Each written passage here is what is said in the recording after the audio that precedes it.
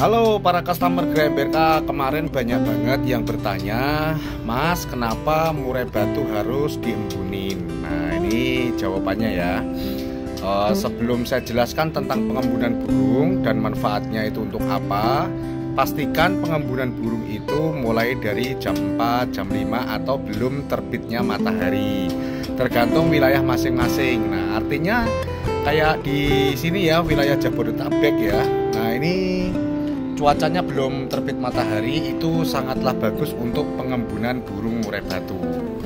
Nah, dasarnya diembun kenapa? Satu, murai batu kenapa harus diembun? Satu, pertama dia itu untuk menghaluskan bulu. Kedua, untuk meredam birahi dan tentunya kalau burung Anda macet atau burung Anda nggak bunyi, cobalah diembun dengan jam-jam yang jam 5 kayak gitu sebelum matahari terbit. Nah, apa reaksi burung tersebut ketika burung itu diembun? Nah, nanti akan saya praktekkan secara langsung. Dan satu hal ya teman-teman ya, untuk dipastikan dalam pengembunan burung murai batu tersebut, tolong kalau bisa jangan dikasih makan terlebih dahulu. Jadi extra fooding jangan dikasih terlebih dahulu. Nanti kalau sudah terbit matahari, sudah kedemur e, terbit matahari dengan kena vitamin D-nya, baru dikasih extra foodingnya. Seperti itu ya. Oke, kita praktekkan sekarang. Nah ini burung murai batu yang akan saya embun ya.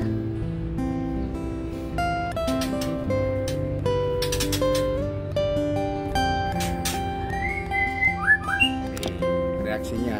Burung murai batu kalau kena matahari pagi itu pasti akan senang apalagi diembun nah ini reaksinya seperti ini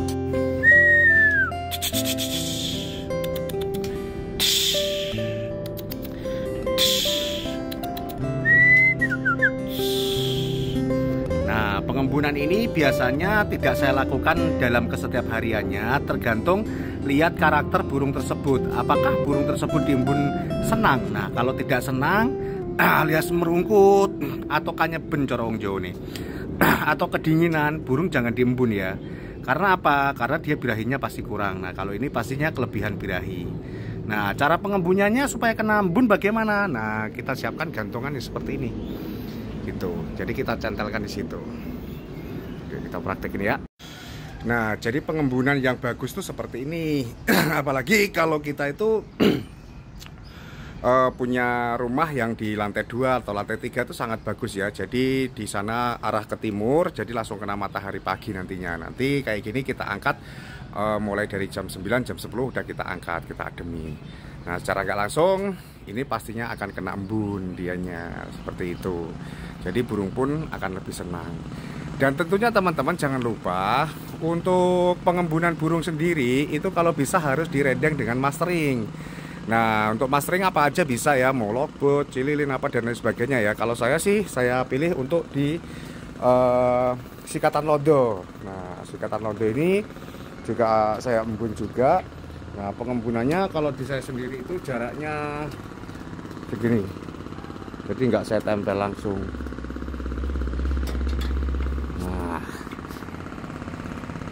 itu masteranya di situ burung murainya nah ini kenapa saya asingkan dengan burung lain karena memang burung ini untuk lomba seperti itu teman-teman gitu.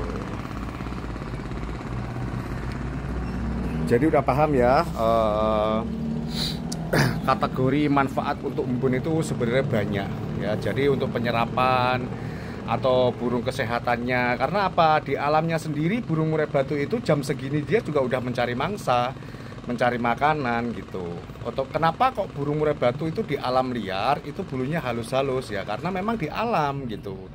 Yang kondisinya benar-benar alam gitu, tidak kena uh, apa namanya makanan pur yang uh, apa uh, berbau dengan obat-obatan dan lain sebagainya gitu. Tergantung di alamnya gitu, makanannya alam gitu seperti itu. Nah, ini. menikmati bun dia seperti itu ya teman-teman ya nanti jika ada yang teman-teman keluhan tentang burung MBRK beli murai batu di MBRK nggak bunyi apa dan lain sebagainya silahkan komen di kolom komentar nanti pasti akan saya jawab seperti itu oke thank you